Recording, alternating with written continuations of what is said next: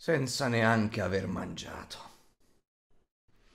Si ritrovò a dire ad alta voce Adesso so come si sente un pezzo di pancetta quando viene improvvisamente tirato fuori dalla padella con una forchetta e messo in dispensa. E Dori rispose Tu non sai proprio niente. Perché la pancetta sa che presto o tardi tornerà in padella. Noi è meglio di no. E poi le aquile non sono forchette. Oh no, non sono per niente occhette. Eh, forchette. Voglio dire. Farfugliò Bilbo rizzandosi e sedendosi, guardando ansiosamente l'aquila che stava posata lì accanto. Si domandò se avesse detto qualche altra sciocchezza e se l'aquila si fosse offesa. Non è molto saggio offendere un'aquila, quando si ha solo la statura di un hobbit e ci si trova di notte nel suo nido soprattutto. L'aquila si limitò ad affilare il becco su una pietra e a lisciarsi le penne, non prendendolo in considerazione. Poco dopo giunse in volo un'altra aquila. Il signore delle aquile ti prega di portare i tuoi prigionieri al gran ripiano. Gridò l'aquila e ripartì di nuovo. L'altra invece prese Dori e in volo lo portò via con lui nella notte, lasciando Bilbo tutto solo. Estenuato com'era, egli non poté fare a meno che domandarsi cosa il messaggero avesse voluto dire con prigionieri, e cominciava a pensare che sarebbe stato dilaniato a cena come un coniglio quando fosse venuto il suo turno. L'aquila tornò, lo afferrò piantandogli gli artigli sul dorso, e si librò di nuovo in aria. Questa volta volò solo per un breve tratto. Bilbo fu messo giù, tremante di paura, su una larga terrazza di roccia sul fianco della montagna.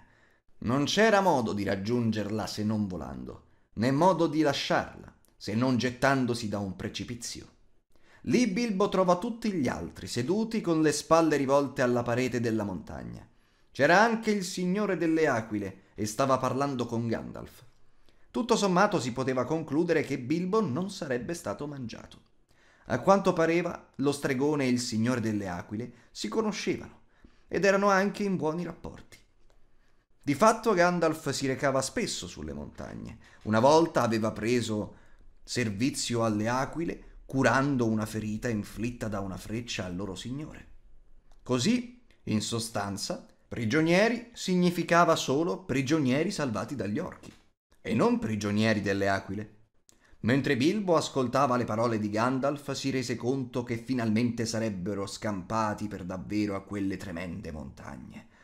Gandalf stava discutendo con la grande aquila, un piano per trasportare lontano i nani, lui stesso e Bilbo, e depositare tutti quanti molto più in là nel loro viaggio attraverso le pianure sottostanti.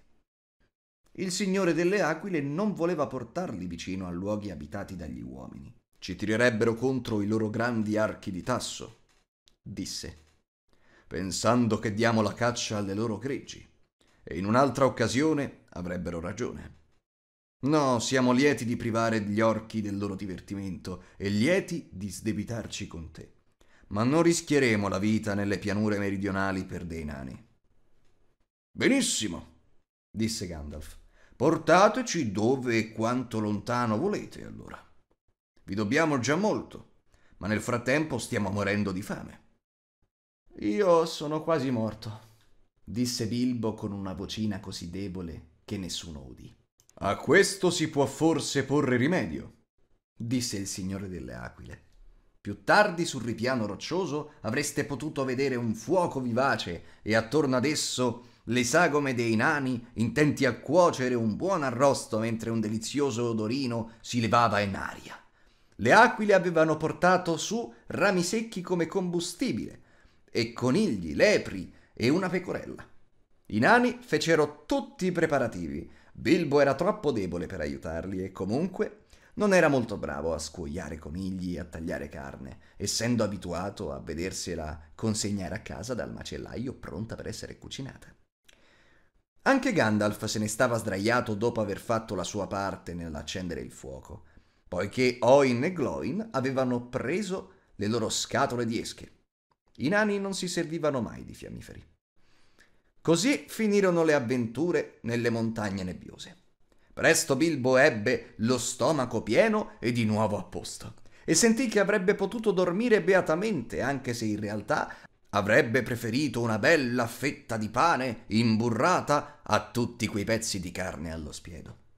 Raggomitolato sulla dura roccia, dormì meglio di quanto avesse mai fatto nel suo letto di piume, ma per tutta la notte sognò casa sua e nel sonno girò per tutte le stanze cercando qualcosa che non riusciva né a trovare né a rammentare che aspetto avesse.